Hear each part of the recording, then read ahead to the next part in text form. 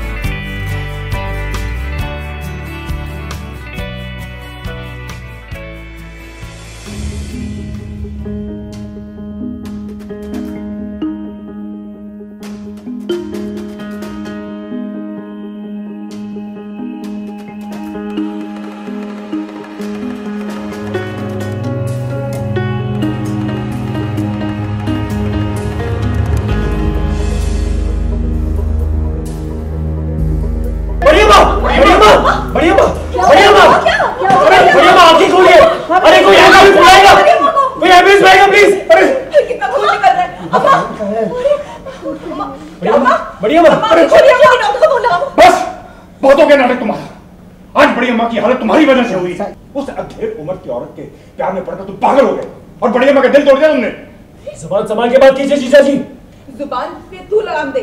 और अपनी हरकतों पे जीजा से तमीज से बात कर समझा क्या? मुझे आपके साथ बहस नहीं करनी। एंबुलेंस बुलाने मुझे फ़ोन दीजिए। कहीं नहीं जाएँगे वो। कोई हॉस्पिटल नहीं जाएँगे। क्यों नहीं जाएँगी वो? हम नहीं चाहते कि बेटी का बात उनके आस पास भी बढ़ के बेकार की बातें करें आप भरोसा उनका? आप बेकार की बातें करें बेकार की बातें नहीं कर रहा हूँ?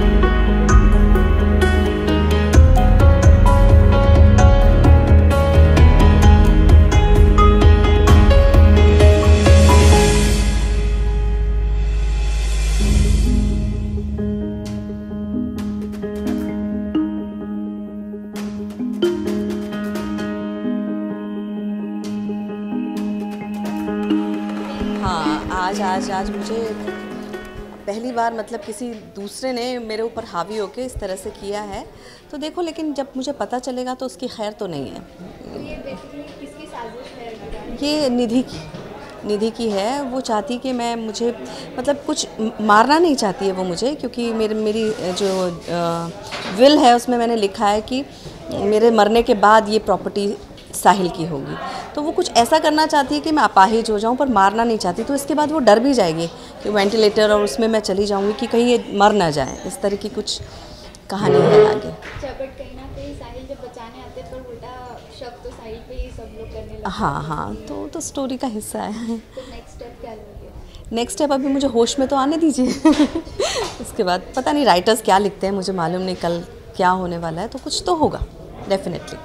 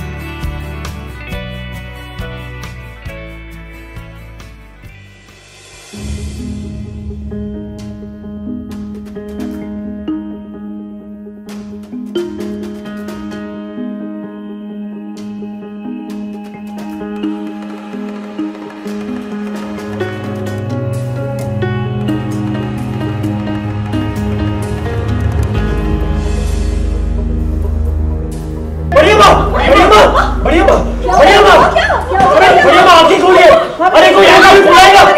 कोई एंबुलेंस आएगा प्लीज़ अरे। कितना खून निकल रहा है।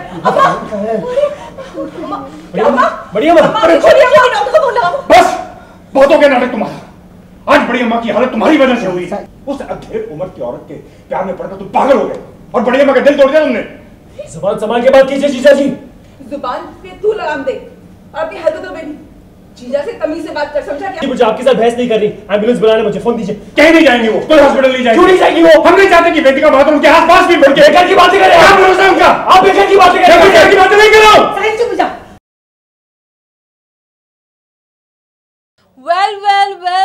आपने देखा कि किस तरह से अम्मा जी जो हैं, उनके दिमाग में काफ़ी कुछ खिचड़ी पक रही है। और साथ ही साथ आपने ये भी जाना कि किस तरह से वो खुद ही गिर जाएँगी और उन्होंने बताया कि अगर मेरे साथ कोई प्लानिंग होगी तो मैं भी पीछे नहीं हटूँगी। आपने देखा कि किस तरह से ऑफ़ सेट जाके जब उनसे बातचीत की गई, तब उन्होंने बताया कि अगर मेरे साथ प्लानिंग और प्लॉटिंग की जाएगी तो मैं भी पूरा उसका जवाब दूँगी।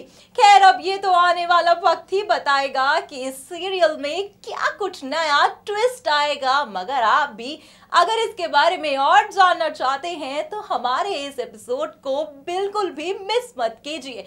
फटाफट हमारे चैनल को सब्सक्राइब कीजिए और साथ ही साथ हमारे अगले शो का वेट कीजिए। तब तक के लिए stay tune and don't forget to subscribe a channel bye bye Subscribe and press the bell icon for latest updates.